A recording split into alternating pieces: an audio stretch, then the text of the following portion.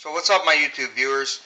Um, I picked up this Sega Game Gear today from the flea market. It had some uh, some issues with the uh, audio video.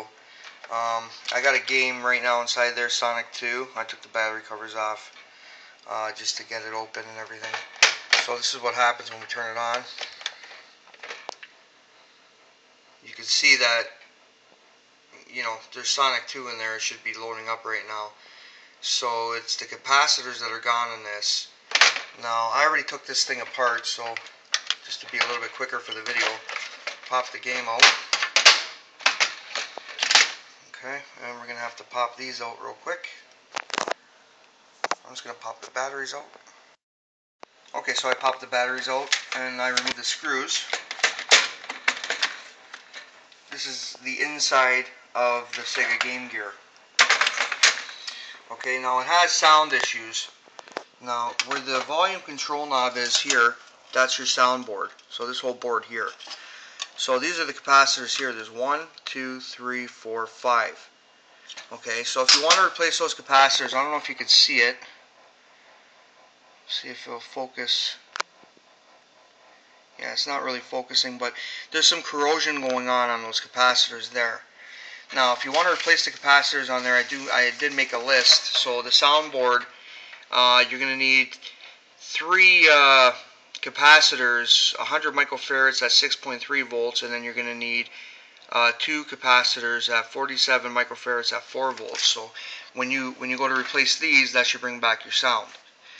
So that's the soundboard. Then we also have the video board. So this is the video end of the capacitors here. Now you can see them all here. There's quite a few here. Like there's one here, one here, here, here, here, here, here, here, here. These all have to be replaced for the video issues that we have. So I did make a list of the capacitors if you guys need to pick them up. So for the video board, we have 100 microfarads at 6.3 volts times two of them, 47 microfarads at 50 volts times two of them, 4.7 microfarads at 35 volts, 33 micro, uh, microfarads at 6.3 volts, 22 microfarads at 6.3 volts, 10 microfarads at 6.3 volts, and uh, 68 microfarads at uh, 6.3 volts.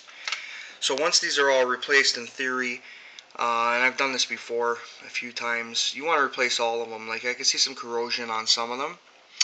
So this is this is the issue right here with the um, the video problem. So there's your there's your audio problems. Here's your video problems. So I'm gonna run out to the store, grab some capacitors. I'm gonna pause the video, and I'm gonna come back, do the work, and hopefully she lights up. Okay, so I did the work to this unit. Uh, by the time I went down to the store, got the capacitors, the right ones, which took a few minutes, and had them all soldered in.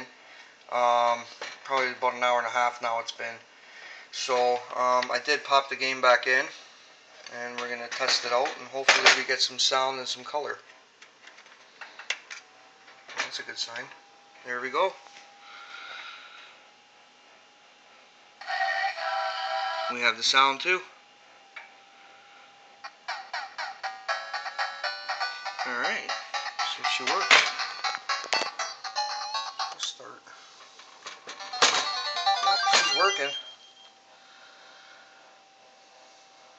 So, oh yeah, she's working. So you can see, you know, a couple hours of your time. I spent five dollars for this. It cost me about, I'd say, I don't know, twelve bucks for the capacitors. A couple hours of my time. You know, now this is this is worth close to eighty bucks now. No problems. Like, it's kind of hard for me to videotape, but you can see it's actually working. So yeah, that's it. So if you want to get a Game Gear and you you know you can do some uh, some hands-on kind of work, there you go. Make yourself a, a, little day of doing it, and uh, you get good results in the end. So that's your Sega Game Gear. That's how to fix it. I hope this video was helpful. Please comment or like below. Thank you.